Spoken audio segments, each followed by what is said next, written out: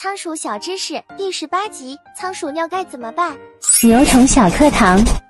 很多室友发现自家鼠鼠的尿啊，经常会出现乳白色或者乳黄色。咨询的时候呢，会被告知是尿钙了。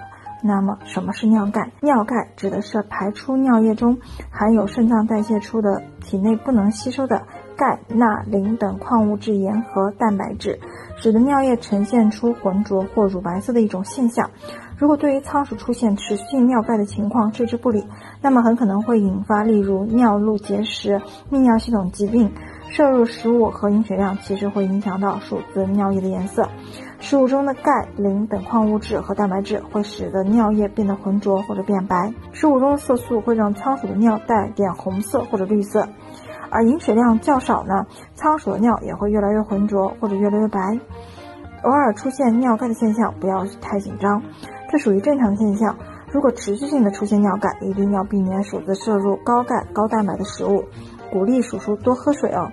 关注我们每日更新小宠一集，我是有问必答的鬼鬼，我们下期再见。